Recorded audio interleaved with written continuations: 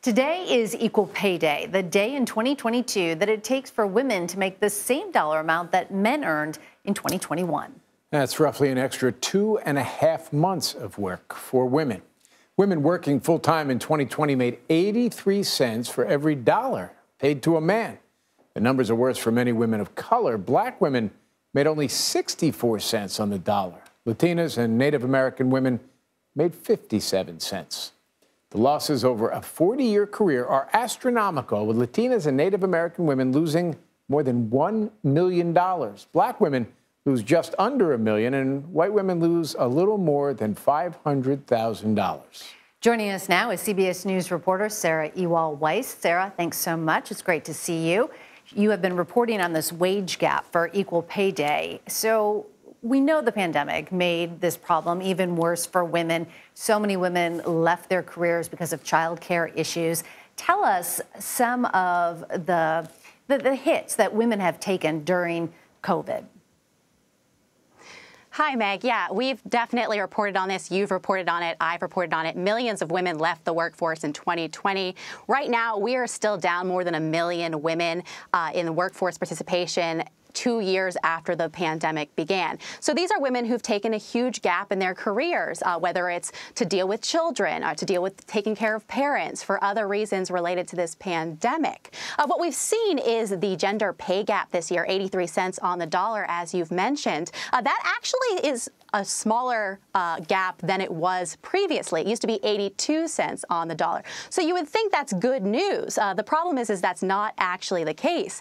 When women were leaving the workforce because of the pandemic, a lot of the women who were hit the hardest were low-wage women. Uh, so when those women left the workforce, it looked like wages across the board went up because people who were more insulated from the pandemic and kept their jobs uh, were people who were making higher wages. So now it looks like it shrank, but economists are concerned as women return to the workforce moving forward, it'll actually be a larger gap than it previously was. Uh, something that keep in mind as women were leaving jobs and taking this time off, uh, it's going to be a challenge to come back to work at the same level of income uh, as they previously had. Uh, it looks like a career a career gap here where they're taking care of people uh, and working from home, doing all these other things. Uh, so that is something they need to make sure people are coming back at the same wages as when they left uh, and not taking hits because of the pandemic. And it'll take some time for us really to get the data to see where this actually stands. All right, let's let's consider a couple of sets of numbers here. So from 1979 to 1994, the wage gap seemed to be shrinking. But in the last three decades, it's barely moved, even though a lot's changed in the workforce. You can see the trajectory of, of how it plateaued. So, Sarah, let me ask you this. What's being done at the federal and the local levels to deal with this issue?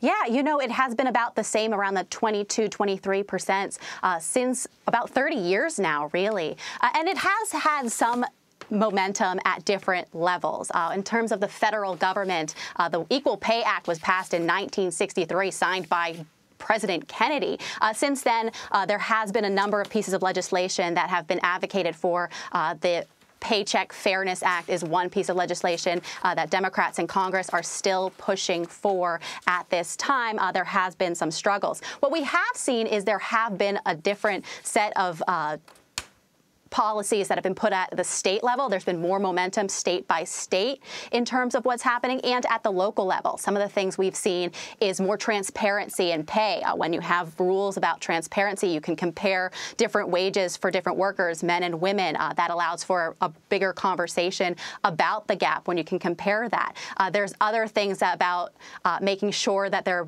access to unions. What we know is women who are in unions make more money than women who are not in unions. Uh, that collective bargaining power is something that helps women.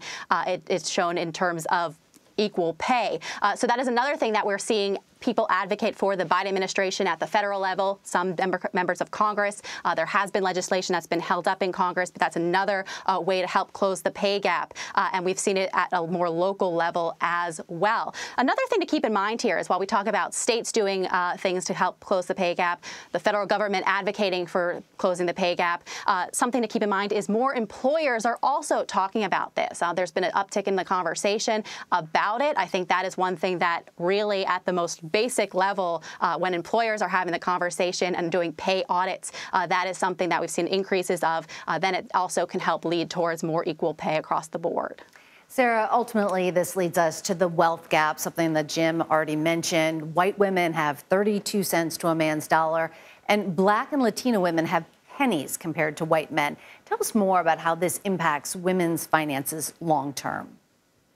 Yes, this has a huge long-term impact. Uh, you mentioned the pay gap. That's just part of the wealth gap. And you mentioned that the pay gap for black women over a 40 year career uh, amounts to just under a million dollars for Latina women and Native American women. That amounts to more than a million dollar. Uh, but there are other factors at play here in terms of the wealth gap. Uh, we know that women and people of color are paying higher interest rates. Uh, we also know that women are investing less than men um, and have been investing less than men for a longer period of time. Uh, other things that are part of this is more women are taking time out of their careers uh, when they go on maternity leave, for one, paid maternity leave is not something we have at a federal level, so it really depends on the state. That adds to women earning less money over their overall career. It helps with widening this overall wealth gap. Uh, so there are a multiple faceted uh, problem here that we're seeing. It's a little harder to decipher the wealth gap than the wage gap because marriage is a part of this. And then it becomes a question of, well,